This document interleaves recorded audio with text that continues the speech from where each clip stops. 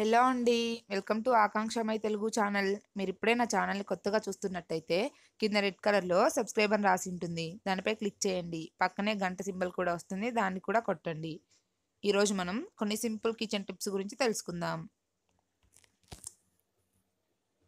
First tip సాధారణంగా బెండకాయ కూర చేసినప్పుడు చాలా జిగురుగా ఉంటుంది. దాంట్లో జిగురు తగ్గించుకోవడానికి కొంచెం నిమ్మరసం కానీ మజ్జిగ కానీ వేస్తే చాలా వరకు జిగురు తగ్గుతుంది. రుచి కూడా ఏమాత్రం మారదు.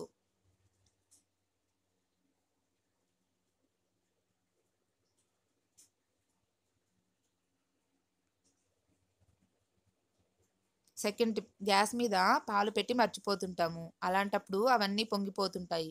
అలా పొంగకుండా ఉండాలంటే ఇలా అడ్డంగా ఒక చెక్క గరిటెని పెట్టాలి. ఇలా గరిటెని పెట్టడం వల్ల పాలు పొంగిపోవు. ఇలా చెక్క గరిటెని యూస్ చేస్తున్నప్పుడు గ్యాస్ని సిమ్లో మాత్రమే పెట్టాలి. హై ఫ్లేమ్లో పెట్టకూడదు.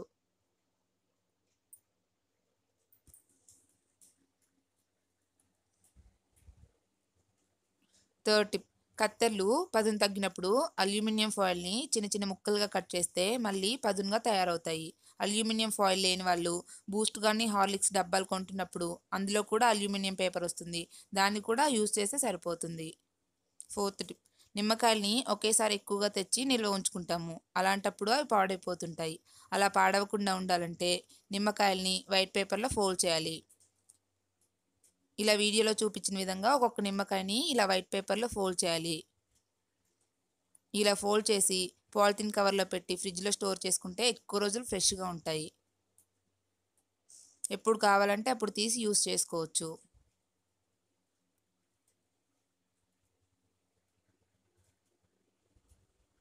Next tip. నిమ్మకాయలను యూస్ చేసిన తర్వాత నిమ్మ చెక్కల్ని పడేస్తుంటాము. అలా పడేయకుండా వాటిని ఫ్రిడ్జ్లో పెడితే ఫ్రిడ్జ్లో ఉన్న చెడు వాసన అంతా అది పీల్చుకొని ఫ్రిడ్జ్ ఫ్రెష్గా ఉంటుంది.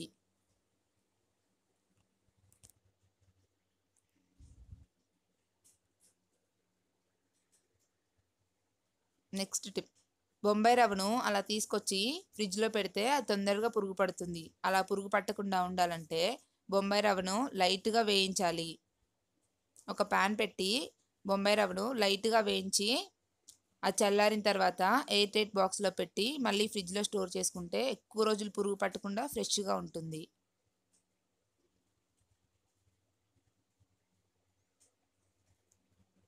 Next tip. సాధారణంగా కూర చేస్తున్నప్పుడు ముందుగా కూరగాయలను కట్ చేసి నెక్స్ట్ ఉల్లిపాయలను కట్ చేస్తుంటాము. కానీ బెండకాయ కూర చేసేటప్పుడు మాత్రం ముందుగా ఉల్లిపాయను కట్ చేసి నెక్స్ట్ బెండకాయలను కట్ చేయాలి. ఎందుకంటే ముందు బెండకాయలను కట్ చేయటం వల్ల చాకుకు జిగురంటుకొని ఉల్లిపాయ కట్ చేస్తున్నప్పుడు చేయితేగే ప్రమాదాలు ఉన్నాయి అందుకే ముందు ఉల్లిపాయను కట్ చేసి నెక్స్ట్ బెండకాయను కట్ చేయాలి.